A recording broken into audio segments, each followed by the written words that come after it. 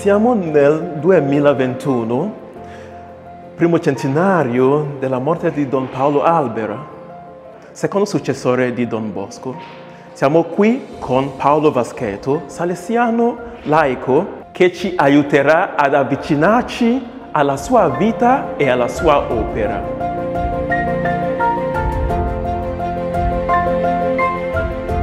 Sappiamo che Don Paolo Albera era uno dei giovani di Don Bosco e amico di Michele Magoni. Quali sono, quali sono i punti più importanti della sua vita? Quando aveva solo 18 anni, Don Paolo Albera fece parte del primo gruppo di salesiani che con Don Rua andò a Mirabello per portare lo spirito di Valdocco e di Don Bosco in quel paese. Poi nel 1868 lui era diacono quando la Basilica di Maria Ausiliatrice a Torino venne consacrata e qualche mese più tardi lui venne ordinato sacerdote a Casale e lì Don Bosco gli fece degli auguri specialissimi. Don Paolo Albera, che era un giovane prete, era, ora aveva tutto il mondo davanti e sarebbe stato pronto ad andare ovunque nel nome di Don Bosco. Per cui fu mandato per i primi anni come direttore a Genova e poi fu mandato come ispettore in Francia. La Francia a quel tempo era una nazione piuttosto ostile verso i religiosi, ma si trasformava in terra promessa quando Don Bosco intraprendeva viaggi trionfali annuali con lo scopo di raccogliere beneficenza. Don Albero gli era sempre accanto e poi quando Don Bosco non poté più visitare la Francia, allora lui stesso tornava a Valdocco per vederlo e per stargli accanto durante la sua ultima malattia.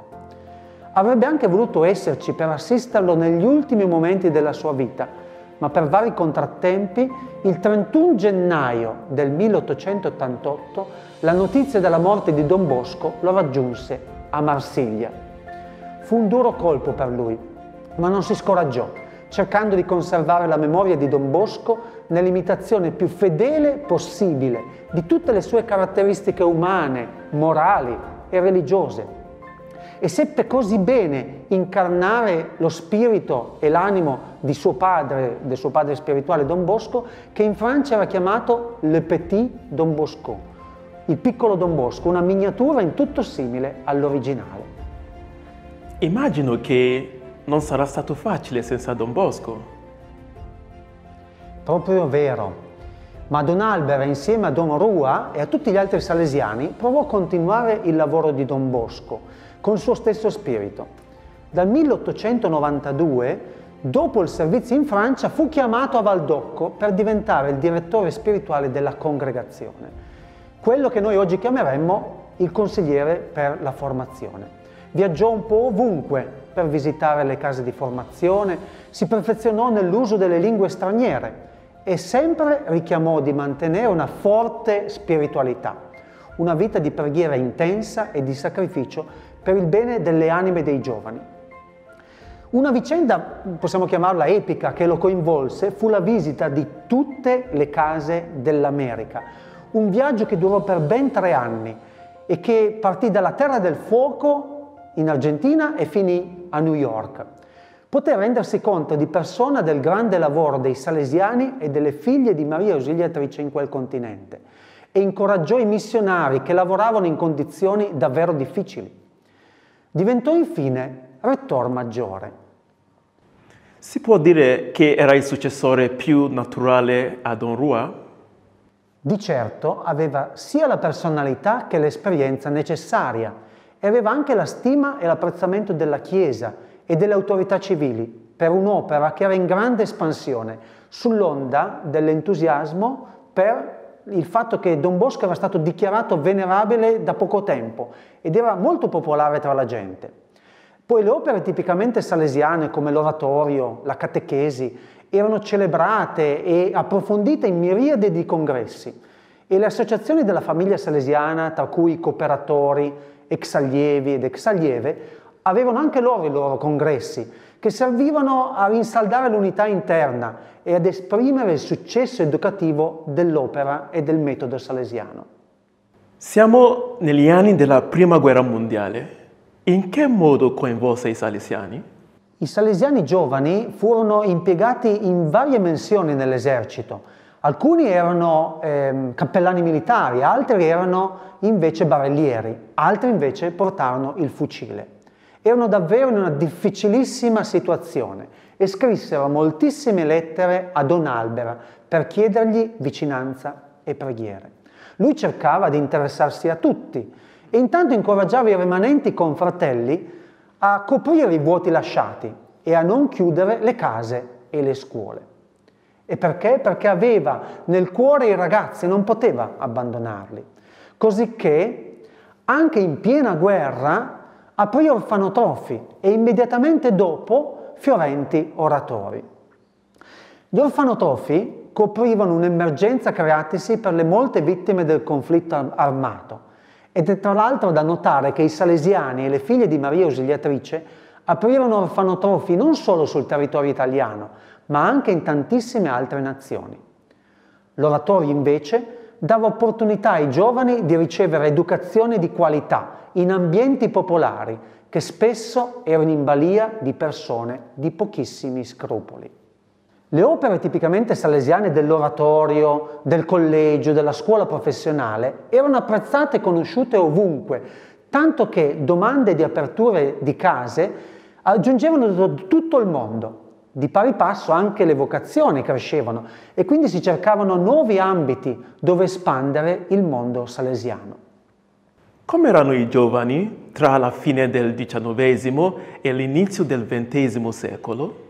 Per quanto riguarda la situazione giovanile, molte persone erano preoccupate dal fatto che la rivoluzione industriale, che pure aveva portato qualche progresso, aveva contribuito ad allontanare i giovani dalla Chiesa. Anche di questi anni è il fenomeno dell'emigrazione verso altri paesi e per fortuna i salesiani erano già presenti in terra di missione anche per assistere questi immigrati. Ma in Europa il conflitto era a livello delle idee, con gruppi di ispirazione anticlericale che sorgevano un po' ovunque. Come spesso accade, moltissimi si contendevano i giovani, cercando di attirarli in tutti i modi. Per cui questa sapiente proposta di tempo libero tra sport, teatro, musica e anche cinematografo, che era l'oratorio di inizio Novecento, e una qualifica professionale che si poteva acquisire nelle scuole dette di arti e mestieri risultò vincente e molti giovani trovarono all'interno delle opere salesiane le linee guida su cui impostare il proprio futuro. Tornando a Don Albera, quali sono le sue caratteristiche che ci fanno capire come lui fosse in sintonia con il mondo e al passo con i tempi? Don Albera ha visto il mondo, viaggiando in nave, a cavallo, in carrozza, in treno e anche già in automobile. Si preparava per le sue visite leggendo moltissimo, impraticandosi anche nelle lingue straniere. Il suo francese era molto buono il suo diario spirituale, anche nel periodo dopo la sua permanenza in Francia, era in francese. Poi si rese conto dell'importanza della lingua inglese e cominciò a studiarlo ed aveva quasi 60 anni. I diari spirituali dal 1902 al 1910 sono in inglese, non perfetto, ma certamente apprezzabile. E a riguardo dell'essere al passo dei tempi, penso che Don Albera tentò di dare all'oratorio una dimensione molto moderna. Infatti, oltre all'offerta religiosa e ricreativa, si predisponevano percorsi adatti per i giovani lavoratori come cicli di formazione sociale, con conseguente apertura dell'oratorio anche nei giorni feriali. Poi c'erano uffici di collocamento al lavoro e anche la sensibilizzazione alla previdenza e al risparmio.